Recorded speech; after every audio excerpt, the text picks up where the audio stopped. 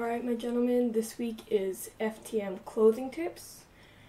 Um, I'm filming this like days in advance because I have a feeling next week is going to be just as bad as this week was.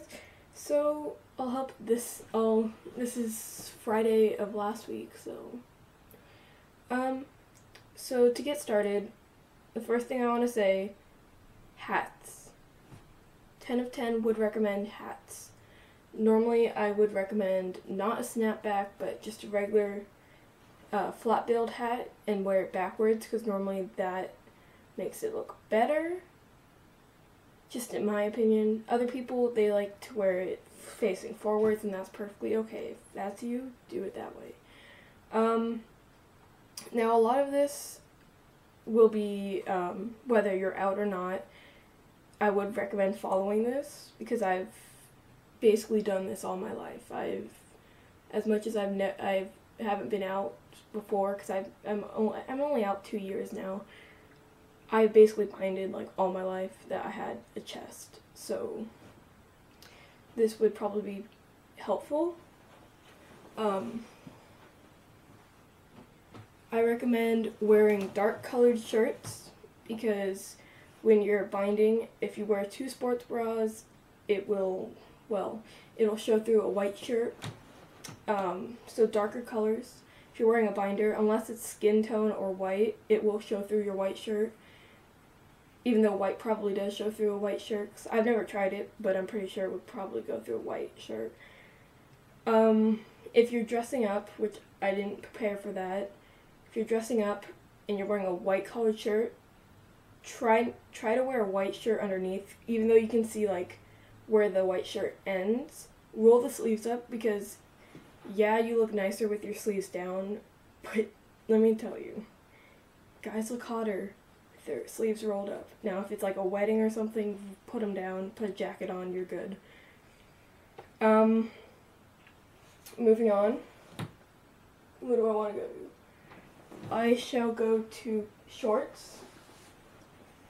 Shorts for trans guys, whether you're out or not, shorts that go down to your knees.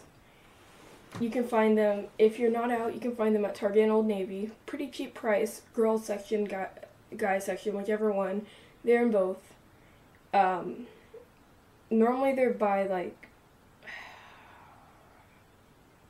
oh, I used to have the hat, the company. It, I don't remember what the company is called, but I'll think of it sometime later. It's some like weird name company. I'll find it for you guys. Um, they go down to your knees. It totally works. The only reason I recommend that because I know gender roles. Guys can wear short shorts. Guys can wear dresses. All that. I get that. But with with how society is today, we're not there yet. We're not to the point where we can where me as a guy can wear a dress and be perfectly comfortable with it. We're not there. So I really do recommend that you wear shorts down to your knees or longer shorts at least. Um, with jeans, if you're getting them from the guys section, I actually have a pair of jeans in front of me.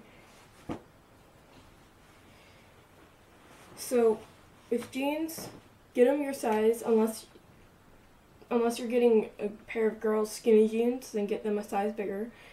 Um, with guys jeans, when you get guys jeans, if you're short like I am, see the end right here, how it's it's different than it should be. It's because I rolled it up so that it doesn't show that I'm short, but it's still like if you're walking by me, you won't notice it. You'll you'll think I'm a guy that's just a little short, but it doesn't show with my jeans because it looks like my jeans fit. So that always works. Um, always wear a belt. I would not recommend sagging I know most guys sag their pants. First of all, sagging means that you would like to get to do the do in the butt. Best way to put it. Um, so don't do that. It means that in prison. So yeah, don't do that. Um, also, sagging kind of it shows off your hips a little more because when you put on jeans, it goes above your fattest part see how this goes above the fattest part, which is right here. When you sag, it goes to about here, so it's right at that largest part and it shows it off more. So it it kind of makes you pass less. So belt and don't sag. Belt, I would recommend belt because a lot of guys wear a belt unless they're sagging. It shows that you're like I don't know how to say this. In my opinion, it shows you're more sophisticated, you're more grown up. Um, even if your pants fit, I would recommend wearing a belt just in case because there will be times where people are butts and at my old school people would try and pants people to see if they if they were a guy or were a girl. So I would really recommend wearing a belt. But you don't go to my old school, so yeah. I mean, I don't think any of you do. Anyways, to continue on, so I've covered shorts, pants, shirts. Let's move on to underwear. I got into this last week. I recommend boxer briefs because you can pack. But there's also another reason I, I recommend boxer briefs. Yes, when you wear them, this stretches out and they kind of roll up. Yes, I know that. And I know that makes people very dysphoric, but I recommend them because regular boxers, they're very loose. So when you're wearing jeans or shorts or anything really, it goes up. So then it doesn't really feel like you're wearing boxers. Plus, they're hard to get in when you're wearing something else, so makes no sense to me. So if you're not binding, uh, if you're not packing, sorry, if you're not packing, I would still recommend boxer briefs. If you're not out, there is something I have. Let me. No, I'm not gonna get it. It's by Hanes. It looks like boxers, but it's for girls. I don't remember what they're called. I'll figure it out for you guys. If I can't figure it out by the time I post the video, I'll find it, put it on Instagram for you guys. But it's by the Hanes Company. I found it at Target. I like Target a lot, if you couldn't tell. California here. Um, it goes down to about right here. So it kind of, it fits like boxer briefs. And they're the exact same thing except they don't have the little pocket where the dick obviously goes in. And yeah, um, I'm not gonna recommend shoes because just don't wear heels or flats. Like, don't wear shoes that your mom would wear, basically. Um, but personally, Vans or Converse. Thank you very much. I will do socks, even though this is my packing sock. I would recommend socks that go more up, like not stop at your ankle, but go a little above the ankle, for the reason that most guys wear those kinds of socks, or they go higher, so it kind of looks like the fuck boy look. Um, it goes to the middle of your calf or to your knee, but normally more like anime type girls wear it to their knee. I don't know. Yeah. Let me think if there's anything else. Um, beanies. Beanies, beanies, beanies. Some people look more feminine in them because they kind of flatten everything. Some people look hella masculine in them. My personal opinion, don't risk it. I've tried beanies. I cannot pass in beanies. I cannot. I look really bad in them. So my personal opinion is do not try to pass in a beanie unless you know for a fact that you are going to look really masculine in it. Um, so yeah, dark shirts. Shorts that go down to your knees. Roll your pants up so that they don't look like roll your pants up on the inside so it doesn't look like you're short if you are that short. Um, boxer briefs, socks that are above the ankle, and hats. One more thing. If you're like some guys and say, hey, I have big hips. Personally, I don't really have big hips. They're like medium. Sometimes they're big to people, sometimes they're not. But personally, this is what I do. Um, when I wear shorts, sometimes it shows off that I have bigger hips, especially when I'm wearing more of a tight fitting shirt. One, don't wear tight fitting shirts. Wear loose shirts, loose t shirts, loose flannels, loose whatever. and I would recommend flannels, and I'll get into that next. Um, so loose fitting shirts. If you can still see your hips are a little big because yes, your shirt is loose, kind of like this one. It's loose like this. It's not gonna press against my chest, but your hips go a little wider than the shirt does, so it does show off your hips. Get a size up. I know it's gonna look a little weird up here and make you look a little larger, but it'll cover your hips and you'll feel less dysphoric about it. Now into flannels because I didn't I didn't think I needed to get into that, but now that I'm thinking about it more, I do. Collar shirts, flannels, whatever, whatever you think. I have collar shirts somewhere back there that I'm too lazy to go get. Um, if they have stripes, I recommend you wear them, whether they're horizontal or vertical. I did that wrong. Horizontal is this way, vertical is this way, whatever. Doesn't matter. Normally, they like give the illusion that you have a smaller chest.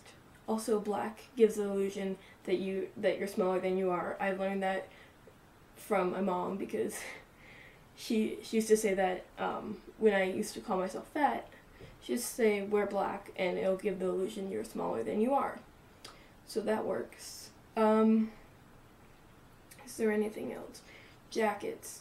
I have I have pretty big jackets because I'm a small guy. I still get smalls in men's jackets and they still are too big on me. Most of the time it fits my upper body, but it goes too far on my arms. So what I do is unless it's super cold outside, which it never is out here, I roll it up. Well, I push it up, not roll it up, but I push it up to right here. And I just I look awesome like that. I would recommend that. Some guys are fortunate enough to not be small like me.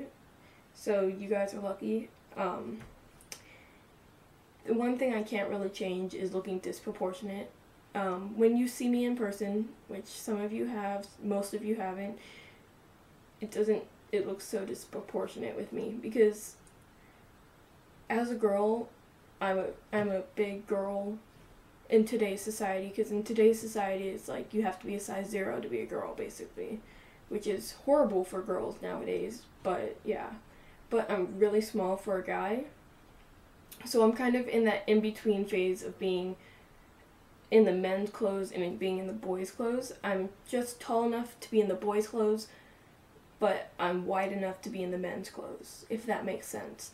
So it looks disproportionate when I'm wearing clothes. Like shorts go down past my knees, kind of thing, that type of thing.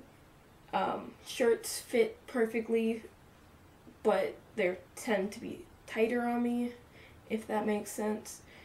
So I don't know how to change that. I really don't. You can hem things, which I don't know how to do personally. Even though I'm very good with sewing and knitting and all that, I can't hem. I'm going to have to figure it out because being a trans guy, you're gonna need that in your life. Um, I think that's it. So yeah, let me. I'm looking around to see if there's anything else. Running shorts a lot of girls running shorts. I I go to the gym. I used to play soccer, softball, basketball. I used to play sports. Running shorts were important to me. I normally, if I went when I went to the gym, I wore a t-shirt and running shorts. Because I know a lot of guys they they go shirtless to the gym or they wear a tank top to the gym. Which now I'm thinking about it, I'm gonna get into tank tops after this. But I would recommend running shorts you get from the guys section for the reason that the only difference between men's and women's running shorts is men's have pockets and sometimes they're longer, sometimes they're the same size because sometimes women's go down to your knees. I mean, if you're playing basketball, it's going to go down to your knees. But I would recommend getting the guys shorts for the reason they have pockets and that's normally how guys tell that you shopped in the guys section for running shorts the girls section, if they're like yoga pants or or some whatever it's called, um, they normally have like a tiny pocket that's meant for like your uh, iPod Nano or something. Um, I really wouldn't recommend wearing yoga pants. You can wear sweats, whether they're guys or girls. I don't care. Sweats are sweats to me.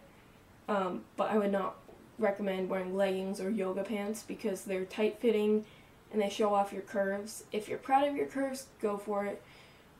But personally, it makes me dysphoric, and so I cannot do it. Um, what what I say I was gonna get into? Ah, um, tank tops, whatever sleeveless shirts, whatever you want to call it. If you're personally, if you're wearing a binder, don't. Unless you're like going to trans pride or gay pride or something like that, I wouldn't because it shows off that you're trans. If you've had top surgery, go for it, but most of you probably haven't had that yet. Um, the only time that I would say you can and you haven't had top surgery is if you're binding with KT tape. KT tape is safe if you use it right.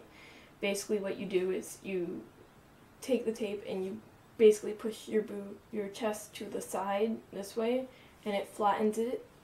Um, so that is called an open bind or KT tape binding. That if you want to, if you can bind that way, which you have to have like a really small chest to do so, go ahead and wear your um, your sleeveless shirts. I don't mind. Well, you can wear a sleeveless shirt, but if it's a tank top where it goes down here, I wouldn't I wouldn't recommend it. But if you're using KT tape, go for it. Um, I think that's all I have. Again, if I think of something, I'll be sure to add it in the comments or description, whatever it's called.